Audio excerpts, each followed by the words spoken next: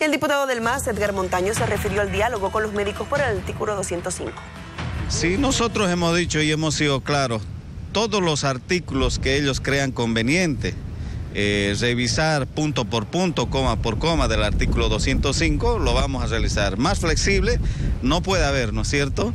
Y en ese entendido esperemos que este fin de año los hermanos médicos también, algunos dirigentes hayan reflexionado y podamos llegar a un acuerdo y obviamente zanjar esto, porque al final la prioridad es la atención de la salud al pueblo cruceño y al pueblo boliviano. Y creemos nosotros que va a ser importante porque la población así lo está pidiendo, la atención de la salud debe de restablecerse y ha sido la presión de los hermanos pues médicos de base que quieren entrar a un diálogo.